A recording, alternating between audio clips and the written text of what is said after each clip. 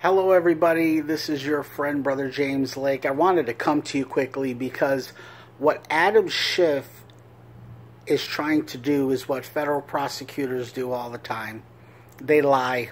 Sidney Powell, General Flynn's attorney, wrote a wonderful book called License to Lie.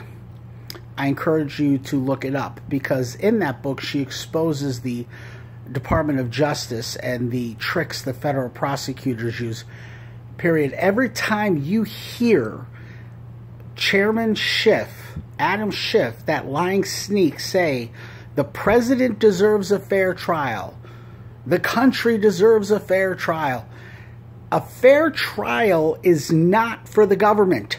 A fair trial is not for the country. A fair trial is for the defendant in the case who is presumed innocent.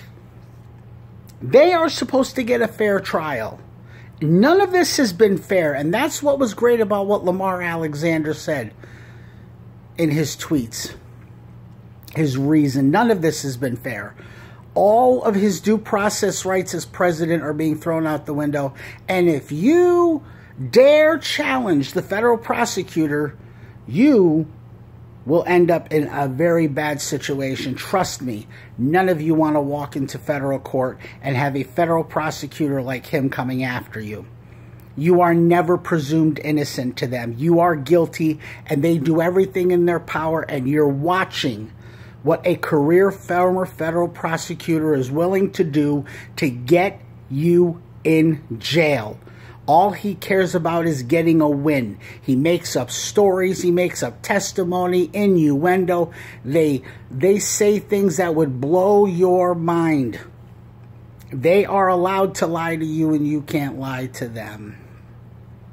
The simple truth is Adam Schiff is what the typical federal prosecutor is, and the president deserves to be presumed innocent until proven guilty.